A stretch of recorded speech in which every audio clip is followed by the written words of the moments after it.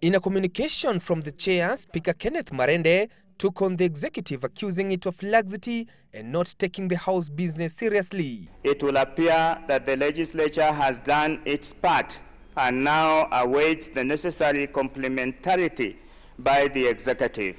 Mr. Speaker, Finance Minister Uhuru Kenyatta has remained reluctant of tabling the two bills that would legalize the pay hikes for the legislators, maintaining that Treasury had no money, a move that has not gone down well with the MPs. The appropriate forum for the minister to express this position will be the floor of this House.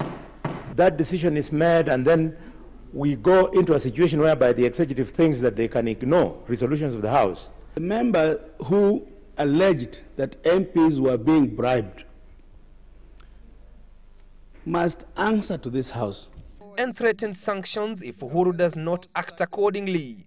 That it is a legitimate expectation of this House that the bills will be published or that otherwise some explanation will be forthcoming Since the debate which continues to raise uproar from the public, Parliament business has nearly stalled, with MPs boycotting sessions despite declining to adjourn until after the referendum. On several occasions, the House had to adjourn early since there was no business to transact.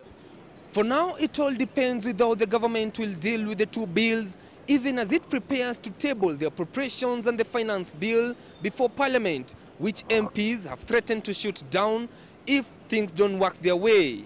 Chris Deru, Citizen Live at 9, Nairobi.